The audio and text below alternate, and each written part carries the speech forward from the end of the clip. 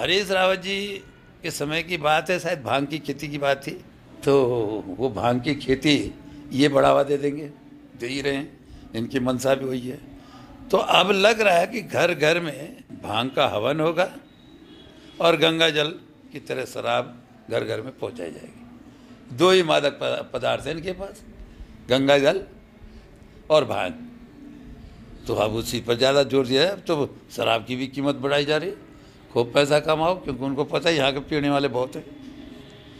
कीमत बढ़ा रहे हैं। और तारीफ़ ये, वो पार्टी बना, कर रही है काम, जो पार्टी मैनिफेस्टो में, अपने घोषणा पत्र में कह रही है कि इस राज्य को, क्योंकि ये देवभूमि है, हम मद निषेध करेंगे यहाँ उस पार्टी ने जब मद निषेध की बात आती है, उस मद का जब विरोध किया तो उन महिलाओं पर जिन्होंने उन्हें सरकार में बिठाया, उन पर लाठियाँ भांजी उन पर मुकदमे दर्ज कराए।